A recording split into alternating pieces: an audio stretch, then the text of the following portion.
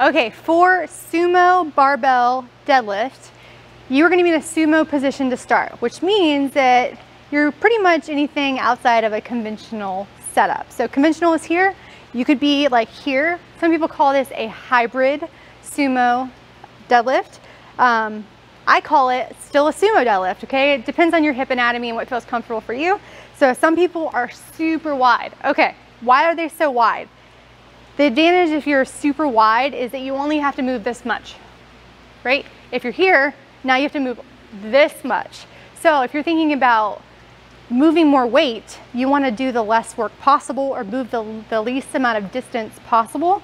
So do what works for you. If you're not trying to max out and set any personal records or world records, just find what works best for your body.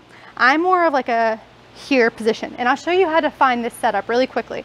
So the most advantageous position for a sumo deadlift is if you do this sort of stretch thing, where your shins are most vertical. So see how mine are vertical right there? If I'm here, my knees are going this way and my, my shin angle is not vertical. And same here, it's not a vertical shin angle. So this would be where I can produce the most force. Okay, so that's where I'm gonna show you guys today. Now for your hand position, you can be double overhand, double overhand with a hook grip. You can do mixed grip, doesn't matter which one you do on top. And obviously you're using more quads here and more groin because you're kind of doing more of a squat as opposed to a deadlift. So pull the bar back, the bar is gonna stay really close to your body. It's about the mid part of my foot here. So what I'm gonna do is, I'm gonna be in my mixed grip. I'm gonna squat down, trying to keep my chest upright. Find my hand position. Think about pulling my hips low, standing straight up and down. So you can see there's a lot of squatting going on in this sort of deadlift.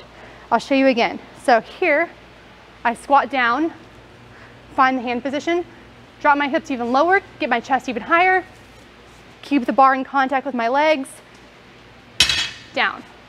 I'll show you one more time. Okay, so the, the pressure in the foot is kind of in a more of a tripod here because it is more of a squat than a traditional deadlift. So the weight should be distributed pinky toe, big toe, and heel. All right, here, keep your back straight, keep the bar close, and then same thing on the way down.